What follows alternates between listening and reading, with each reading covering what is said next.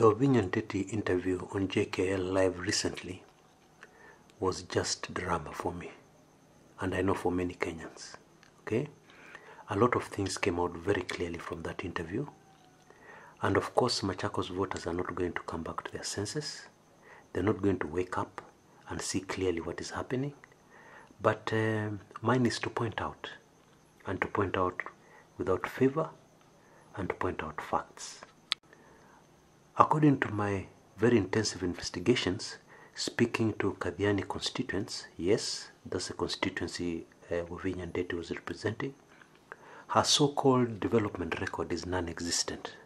Actually, I was very shocked to find out this. But the truth is, it is zero, non-existent. In fact, had Wavinya stood again for re-election, she would have been voted out emphatically. Okay? It is important to note that she managed to make it to parliament with very heavy support from the River area, which is more or less cosmopolitan. And uh, this is probably the same area she's going to rely very heavily on on August 8th during the general elections. Okay? But deep in the rural areas, deep in the rural areas, there was the people there are very upset about Wavinya Ndeti. In fact, as she stands up, she stands for governorship. Just watch the votes come in from rural Kathiani. They will be very thin or non-existent. Okay? Now let us very honestly compare that with the short stint which uh, Governor Mutua has had as Machakos governor. Now, according to my own independent research, Governor Mutua has used a lot of his own money for the development in Machakos. Okay? Wavinya Ndeti is talking about grant development projects, water projects, etc., etc., and she's going to rely totally on the kitty from the national government. Okay?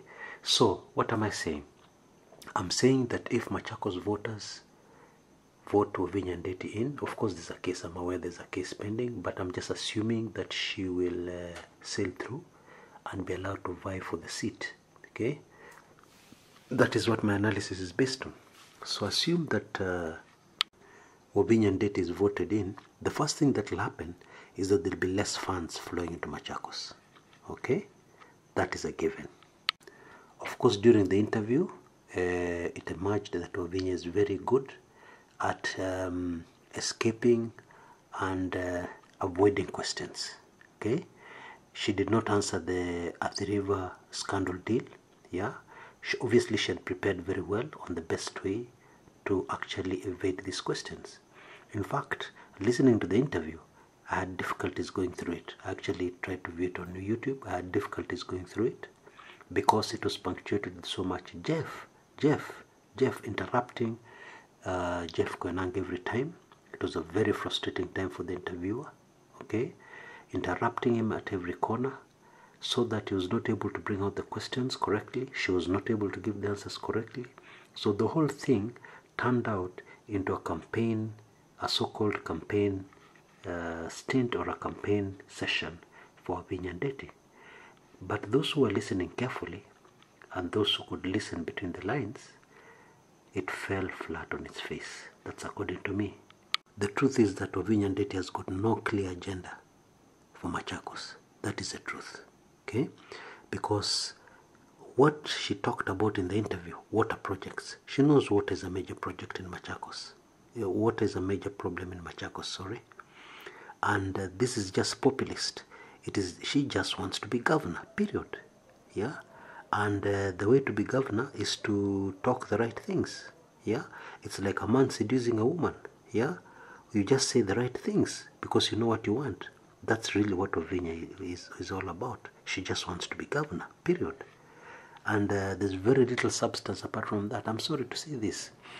And uh, but it is the truth. And she played the sexist card a lot. I'm a woman, I'm a woman, I'm appealing to women. I'm a woman, I'm appealing to women. Yeah. So that is what Machakos voters will have to contend with.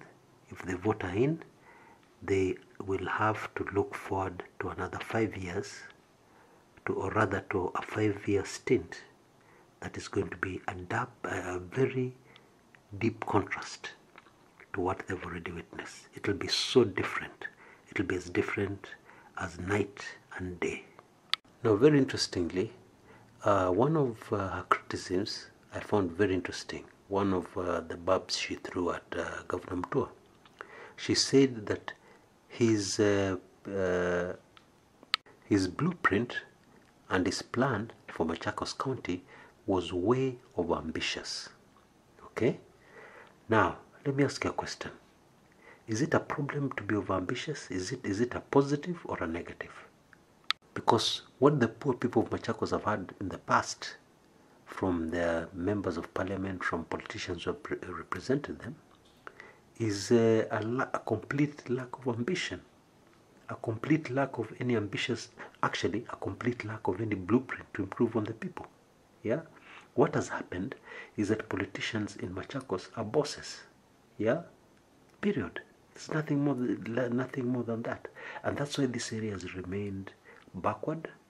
This area has remained underdeveloped. Yeah? And yet it is so close to Nairobi. It is so close to where everything is. There's virtually no excuse. Okay? And many people don't know this, but Machakos has a lot of potential. As Jeff Koinange pointed out quite rightly on his show, it has one of the largest rivers passing through the county, but nothing has been done with it. Okay? Now I see I've run out of my time. Uh, please catch this, the second part of this analysis of the Wavinya interview. Okay. Um, those I know there are many of you who don't like it, but those who like it, catch you there because I have a few more very interesting things to point out. As usual, point on that, uh, click on that link, top left hand corner, and you'll be there. See you in part two of this.